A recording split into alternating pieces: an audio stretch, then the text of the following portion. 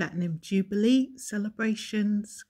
Catherine tells Charlotte to wave. She does wave. Here it is. She listens to her mum. She waves. And all of a sudden she gets annoyed.